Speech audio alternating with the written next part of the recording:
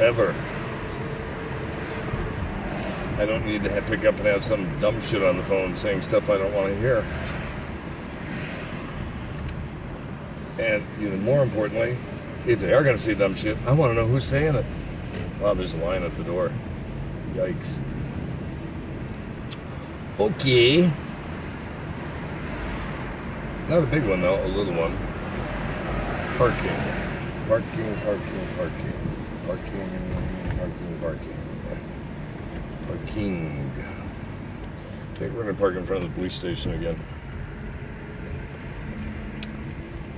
We're not gonna get a ticket that way. That's for sure. And I like that concept. Although there's a spot we could pull if we need it. I like the police station. Less people will fuck with my car in front of a police station. Or near a police station.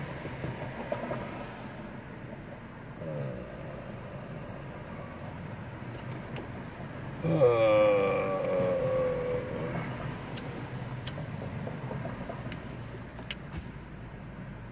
eight, six, seven, five. Oh, I gotta go. Jesse, I forgot.